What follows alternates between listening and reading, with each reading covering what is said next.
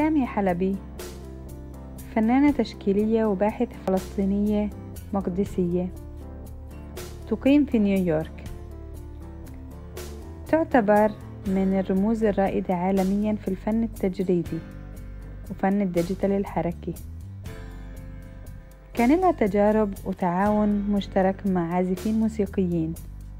كانت تحول موسيقاهم للوحات فنية باستخدام الحاسوب أمام الجمهور مباشرة. وكان لها تجربة مهمة في التعريف بالقضية الفلسطينية والدفاع عن حق العودة.